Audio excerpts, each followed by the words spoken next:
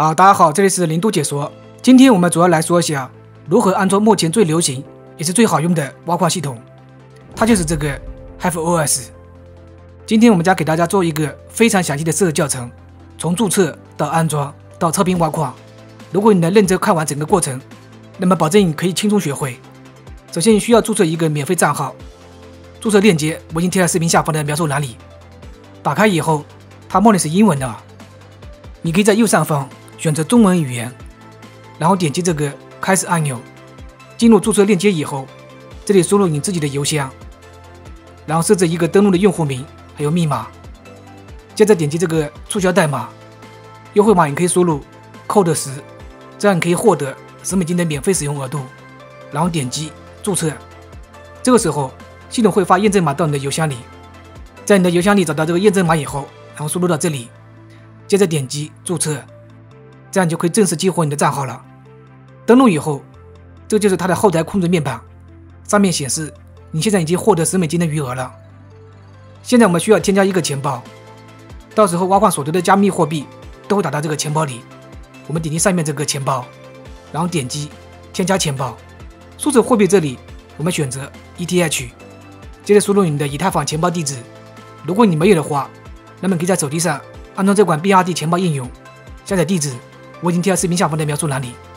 安装打开以后，在里面创建一个自己的钱包地址，然后点击这个 ETH，接着点击收到，这个就是你的钱包地址了。我们给它复制出来，然后贴到这个 HiveOS 后台这里。当然，这个钱包地址你可以使用这个币安的或者火币都可以啊。钱包名称这里你可以随意自定义，比如我输入 ETH，下面的来源就是你输入钱包地址的来源，比如你可以选择交易所名称。钱包类型，如果你分不清楚的话，那么你就自定义一个描述就可以。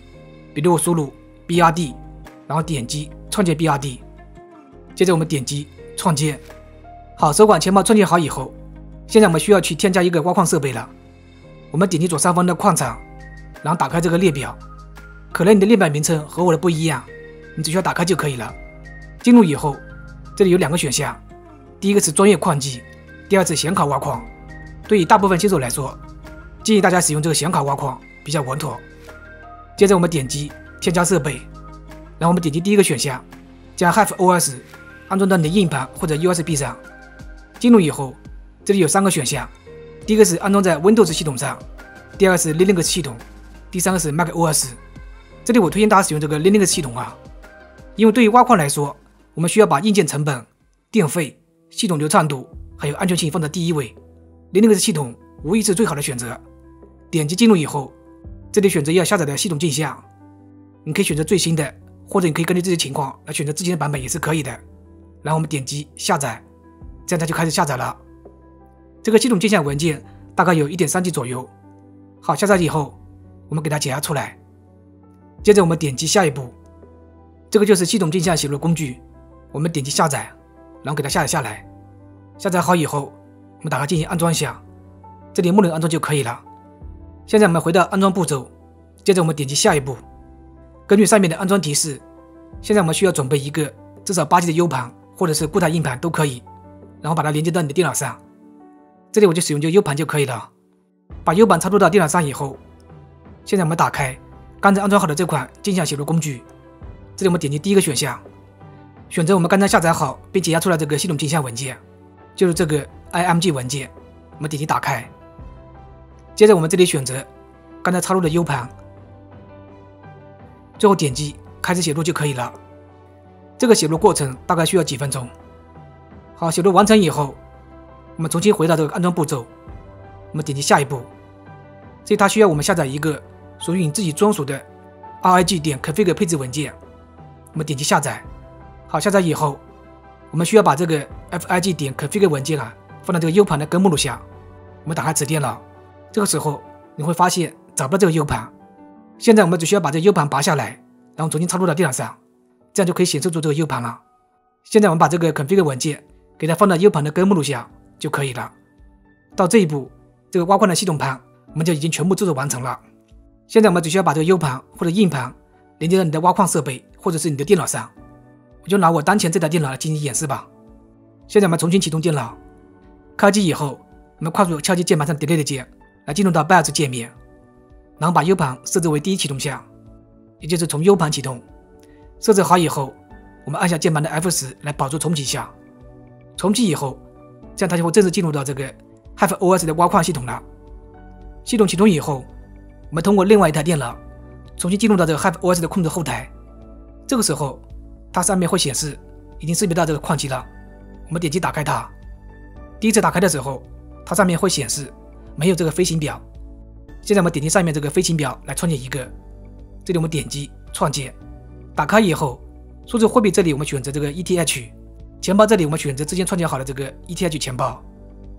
矿池大家可以自己选择，这里我选择这个 Happy o z 的矿池。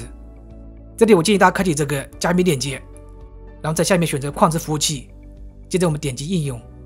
现在我们来选择一下这个挖矿软件。挖矿软件里面有很多种啊，大家可以根据自己的显卡来进行选择。它里面绝大部分都是支持这个英伟达和 AMD 显卡的。这里我就选择这个 Gminer，名称我们可以随意制定一个，比如我输入以太挖矿。最后我们点击创建飞行表，设置好飞行表以后，现在我们点击左上方这个选择矿机，勾选里面的矿机以后，现在我们重新回到这个飞行表，选择飞行表下面这个选项以后，我们点击这右侧这个小火箭图标就可以了。现在我们来说一下挖矿超频设置。我们点击矿机后面这三个点，然后点击里面的超频选项。第一次打开以后，它里面的配置选项默认是空的。现在我们点击上面这个常见预设，它里面就提供了超多主流的这个显卡超频设置。数字货币这里我们选择这个 ETH，算法我们选择这个 ETH Hash，然后下面就是选择你自己的显卡型号，我的是这个 AMD 的六六零 ST，然后下面大家可以根据自己情况来进行选择。选择好以后。这个核心频率和线床都会改变，最后我们点击应用就可以了，这样它会自动加载这个配置文件。稍等一会儿，它就正式开始挖矿了。好，现在我们可以看到，它当前的算力是三十一兆左右，功耗是七十三瓦。如果你需要远程控制矿机的话，那么只需要点击上面这个开始 Spark Share 指令，它就会在矿机上安装这个远程控制脚本。安装好以后，我们点击这里就可以进行远程连接到矿机里面。进入以后。我们输入命令 miner，然后回头确认一下，就可以看到当前矿机的挖矿具体情况了。这样就不需要每次通过这个显示器去连接这个矿机，才能查看里面的挖矿情况。到时爬查问题也会变得更加容易。如果你有多张显卡的话，那么可以直接在里面进行添加。更多的使用功能，大家可以自己去探索。总的来说，Happy OS 是目前最容易使用的集群挖矿系统，管理起来也非常的方便省心。如果将来你要进行大规模的挖矿，那么这个挖矿系统你肯定是要使用的。